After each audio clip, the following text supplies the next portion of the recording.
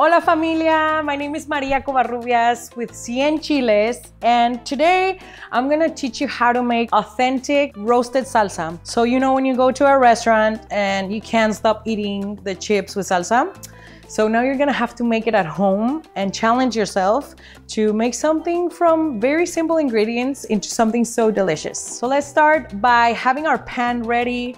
I have a cast iron griddle uh, ready to go here. So I have it on medium heat. I'm gonna just literally place my veggies right on top of, and they start dancing like that because they're Mexican like me. Ay!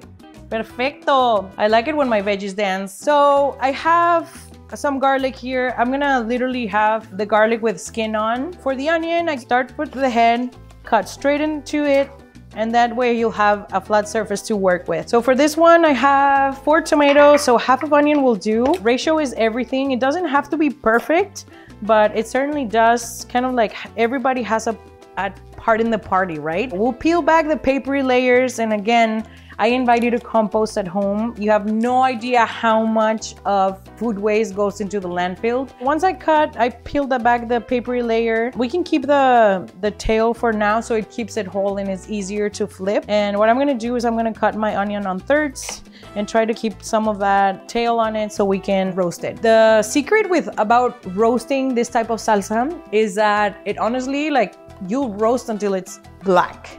So the sugars in the onion will develop, the skin of the tomato is gonna burn. So this is a type of salsa that you kind of need to be patient with it. So we'll bring our onions over here and our cast iron is almost like medium heat. We're already getting some color in the smaller stuff. So that's perfect. So you see, you hear the pop, there's a crunch. Look at our tomatoes. So the tomatoes obviously have the most water content. So these ones are the ones who will be probably turning a little more so they cook even we have our onions already bringing in some color. Of course, use tongs if you don't feel safe uh, doing what I do, uh, which is totally fine. So grab it from the tail and you see it's already starting to get some color. It's kind of soft in that side, so that's perfect. That's exactly what we're looking for. I always like to toast more serranos than I would probably use. You notice how I didn't even use any cooking oil, so this literally goes straight in the dry pan because this is what we want to get.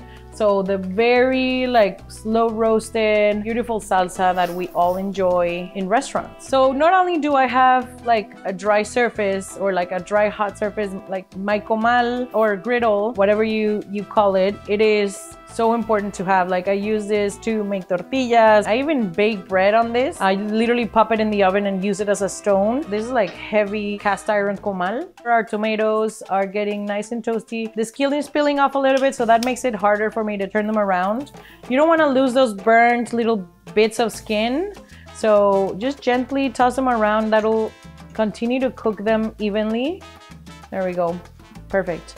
And then for our chiles, they're almost ready. Got them pretty toasty, maybe not on all of the sides, but you can see the juices are already coming out. So that's just like the water that's in the chile. So this is what we're going for. Roasted salsa needs to really go a little bit beyond. So our garlic is also very close. That's why I like to keep like two sides of my roasting process going. That way I can like not mess up half of the thing. So I'm almost ready to pull my garlic out. The onion still needs a little bit more cooking to do. You could also do roasted salsa in your oven if you don't have the time to do it. I would just recommend to cut the tomatoes in like quarters and expose the skin to your broiler or to um, the closest heat on your oven. That way you get perfectly roasted salsa. I'm gonna set my chiles aside because these are ready. So I'll just literally put them in a bowl and put them on the side there because I know the garlic will soon to be roasted as well. And we'll just keep going at it. All right, familia, the tomatoes look like they're done. So let's grab a little bowl and use your tongs. You see, oh, that's perfectly juicy. Awesome. So we want to pick up that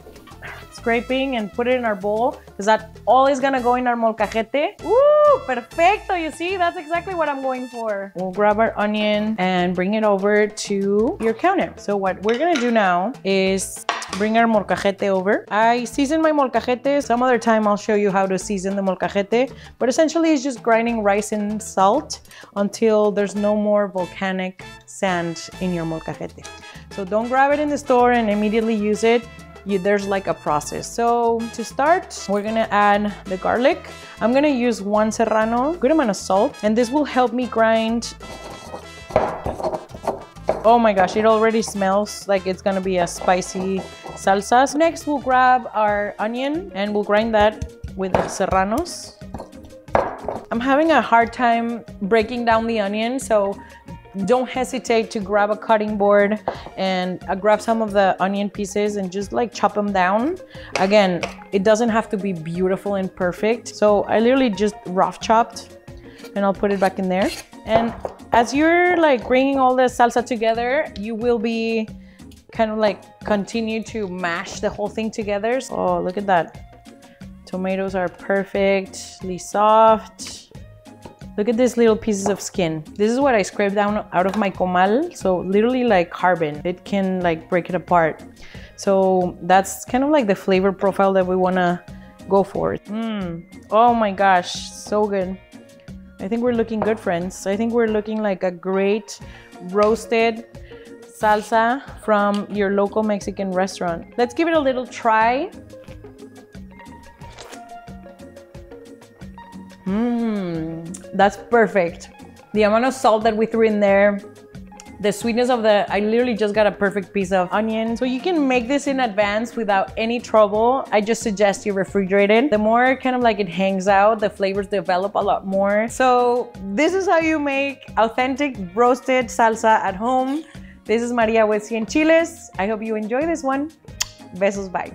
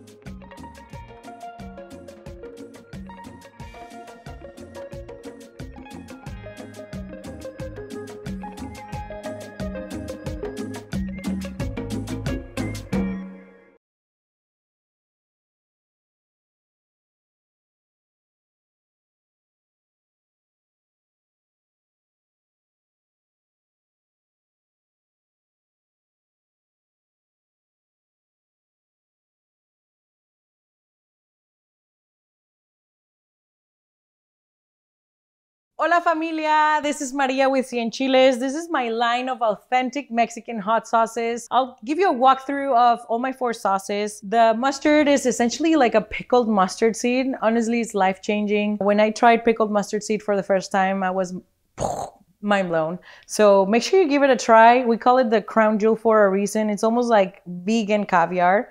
So awesome on deviled eggs, oysters, lobster rolls. Habanero is kind of like my home salsa. This is one that I definitely brought down a ton of the heat. So this one's the mildest one I make. Uh, it's very tomato forward, a great little kick towards the back. So I love it with eggs in the morning. Jalapeno is definitely a family favorite. It, this one's made with tomatillos, onion, garlic, lime juice so the fresh like citrusy notes really pop out um, i love this on a tri-tip sandwich on carnitas tacos and then last but not least thai bird is the spiciest one i make this one's made with Thai peppers, so don't get fooled. Nothing to do with Thai cuisine. This is just the type of pepper. So it's that kind of heat that lingers towards the back. I love this one for roasted veggies, hot wings, you name it. You can get these at a store near you or at cienchiles.com. Always so flavorful, always there to complement, never to overpower your food. Thank you for supporting small businesses. We appreciate you. Besos, bye.